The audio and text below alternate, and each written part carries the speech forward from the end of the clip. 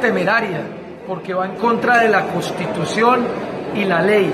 Nos tendremos que acostumbrar a que permanentemente van a poner obstáculos a la paz, van a poner demandas y contrademandas, pero claramente la paz va a seguir adelante porque la refrendación de los acuerdos está claramente ligada al artículo tercero de la Constitución y a la ley quinta. Luego es una demanda que no tiene ninguna posibilidad de prosperar.